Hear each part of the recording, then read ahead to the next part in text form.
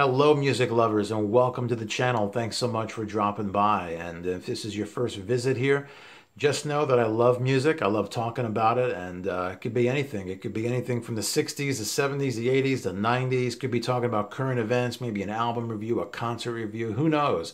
I figure, you know what? If I find it interesting, maybe you will too. And that's what this video is about. This past weekend, I saw something as a music lover that just blew me away, and I wanted to share it with you because I figure maybe somebody out there in this audience of fellow music lovers will appreciate it too.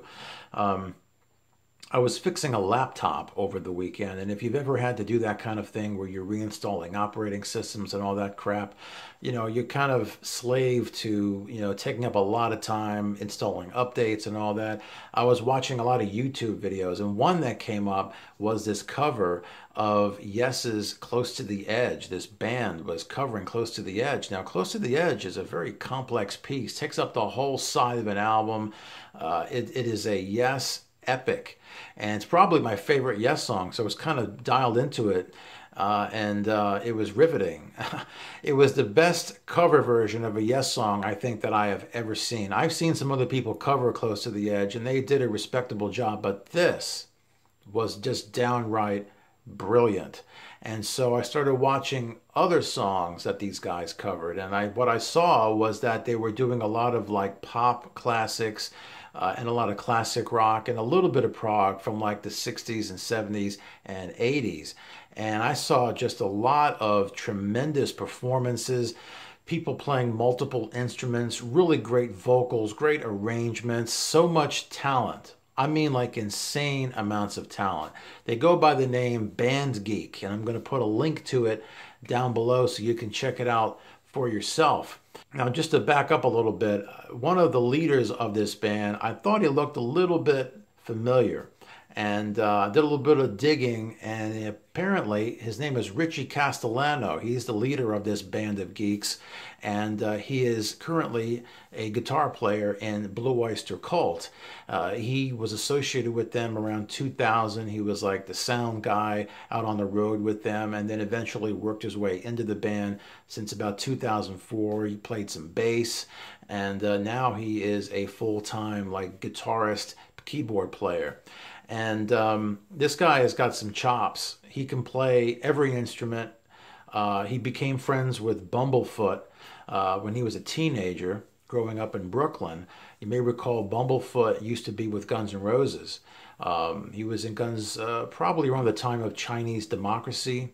Uh, and left shortly before uh, you know Slash and Duff came back in. Um, and Bumblefoot is just a tremendously talented guy. He taught Richie a lot about how to lay down tracks and record in the studio. And then Richie also became friends with uh, a guy by the name of Rudy Sarzo. And yeah, Rudy played with Ozzy Osbourne. He was a bass player. He also played in BOC and he's played with a number of other bands. Anyway, Rudy taught Richie how to do a lot of video editing and everything. So these are the mentors that Richie had. And so Richie is one of these guys that can go into a studio and he can lay down every track and record every instrument, every vocal layer, and he can produce it himself. He's made albums on his own. He has recorded like Queen's Bohemian Rhapsody by himself, uh, the Abbey Road medley by himself. I'm going to put a link to all this below. Just insane amounts of talent. And um, he basically got together with a bunch of his friends who were also really, really brilliant and can play a lot of instruments, insanely talented. And they started this audio podcast where they would just you know, play some covers and talk about movies and really geek out, like, you know, kind of like a Big Bang Theory kind of thing. Uh, then eventually it turned into a video show where they performed covers. And, um, and so the covers that they do, like I said, they cover a wide range of songs. Uh, Richie's wife is in the band. Anne Marie is just insanely talented you're going to hear me say that insane talent word over and over because that's just what comes to mind when I'm watching these these guys. Uh, Anne Marie is uh, a singer, a songwriter, multi instrumentalist. I think she teaches like high school music. Um, she's the one that sings "Close to the Edge." I'm going to get to that here. Um, this version of "Close to the Edge" that they recorded is the best Yes cover I've ever seen. I'm going to take it a step further. I think that they play close to the edge better than Yes does now. And I want to stress now, I'm not going to compare them to the Bruford Chris Squire band of yesterday. I'm talking about this band that I'm watching cover Close to the Edge, that I'm going to put a link to down below. They master this song, they play it brilliantly, and they do it much, much better than the band that's called Yes currently plays it now. And there is just no two ways about it. One of the guests on this performance is a guy by the name of Chris Clark. Now, Chris Clark is currently in a band called Brand X, and that's a band that dates back to the mid 70s. Uh, it's a band that actually featured Phil Collins on drums. He was kind of in and out of that band when he wasn't doing Genesis or making solo albums. I think he left them around 1980. But the band has got a couple of core guys, but for the most part, it's like a revolving door kind of band. But whoever goes through those doors has got some chops. It's kind of like when you go into the Frank Zappa band, you got to know your shit. And so um, Chris Clark's amazing on the keys. Uh, Richie is playing bass does a tremendous job handling Chris's parts. The guitar player does a great job handling Steve's parts. The drummer is awesome. Anne Marie's vocals are beautiful, especially when you get into the I Get Up, I Get Down section of, of the song. That whole section is just so beautifully done. It's gorgeous. It, like I said, it blows away what Yes is doing now. There's no two ways about it. I want to hear from you, Yes fans. You got to come clean on me here. Come on. Um, and um, I'm going to include a playlist down below of stuff that I saw over the weekend that was really impressive to me. You know, like I said, they cover the gamut of songs from, you know, the 60s and 70s and 80s. Uh, Anne Marie did a beautiful version of a song called You Don't Own Me, which was made popular by Lesley Gore back in the mid 60s. Uh, I mean, the vocals are just out of this world. Out of this world. Make the hair stand up kind of stuff here they do a brilliant cover of Michael Jackson's Thriller. And they probably did it around Halloween because they're like in, you know, costumes and everything. And, uh, you know, Anne Marie handles the vocals brilliantly. You know, that's a Quincy Jones song. Lots of production going on in that song. You got Vincent Price. They cover it all. They just do an amazing job. They do like How Deep Is Your Love by the Bee Gees, Lights by Journey.